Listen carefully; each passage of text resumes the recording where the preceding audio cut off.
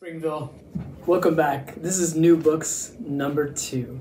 So, our first set of new books comes from a student and their family. They donated brand new books, and they're all graphic novels in the series called Squish. And if you love silly graphic novels, this one's for you, and you might even, you know, learn a few things maybe about amoebas, bacteria, wonderful things like that. All right, so thank you to that family for donating. Then we have another donation, and this is from the PTO, another set of graphic novels, and this is the first three in a series called Mr. Wolf's Class.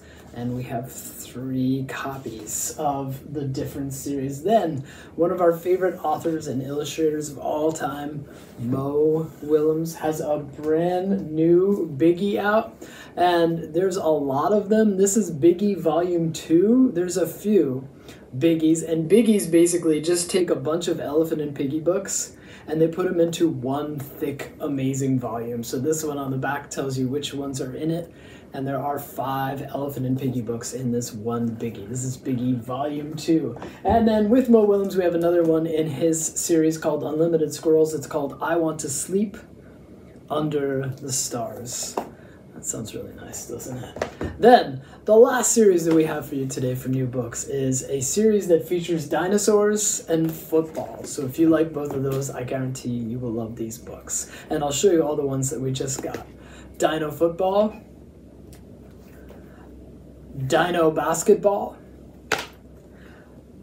Dino Soccer, Dino Wrestling, Dino Baseball, Dino Hockey, and Dino Racing. And all the new books that you saw in this video, you will find most of them over by the windows for the first couple weeks since they're brand new.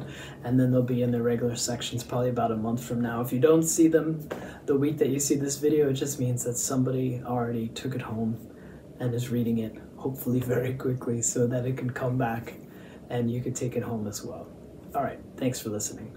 Bye.